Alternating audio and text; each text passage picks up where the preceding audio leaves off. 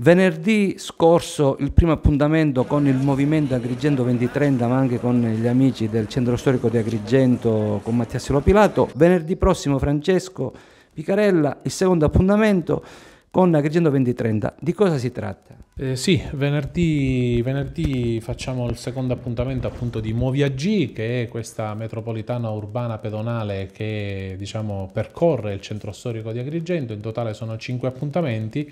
Eh, venerdì scorso abbiamo fatto la linea Chiaramontana e invece per questo venerdì porteremo a spasso gli agrigentini o i turisti che ci vorranno fare compagnia eh, seguendo l'itinerario del Serpot e del Barocco eh, un appuntamento che ormai sta diventando fisso perché già prima, primo appuntamento eravamo già in circa 200, speriamo di avere nuovamente un, un buon successo di pubblico e naturalmente l'appuntamento è per giorno 7 alle ore 18 in compartenza dal monastero di Santo Spirito. Un'occasione per conoscere Agrigento, per conoscere i vicoli e i luoghi eh, del centro storico, un'occasione anche per noi giovani per poter fare turisti nella nostra città. Quindi non eh, mi rimane che invitare i molti giovani e le persone che vedranno questo video eh, venerdì giorno 7 con partenza eh, dal monastero Santo Spirito. Passate parola il più possibile, più siamo e meglio è.